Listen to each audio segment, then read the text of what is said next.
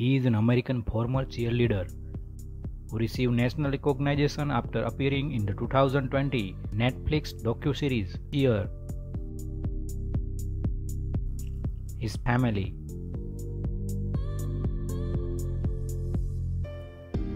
When he was 16 years old, his mother died from the lung cancer.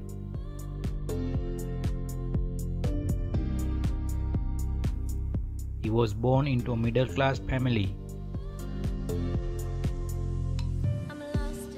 Mother's name Lizzie Bowman.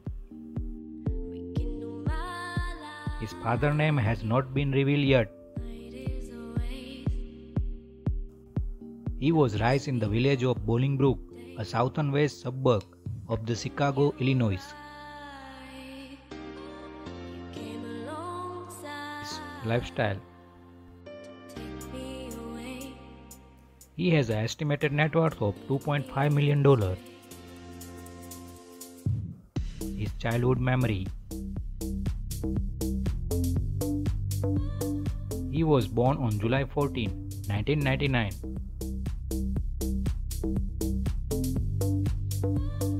He was born in the Hinsdale, Illinois, US.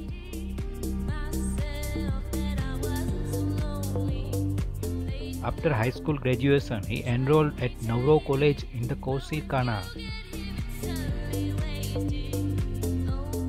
He was a member of cheer team coached by the Monica Aldama.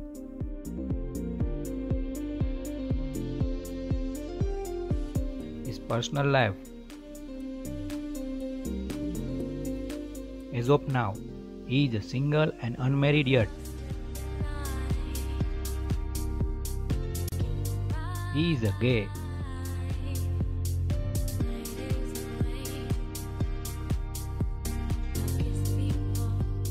His house, car, and pet. His home in the Naperville.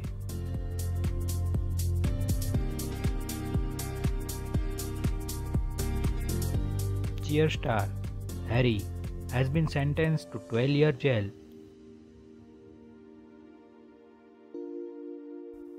He is an animal lover.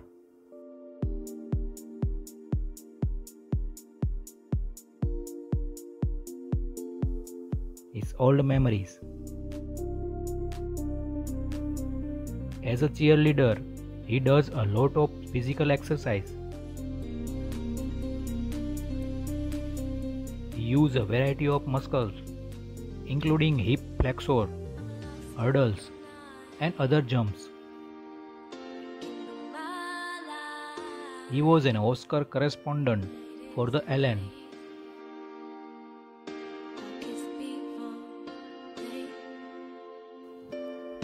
He supports the LGBT community.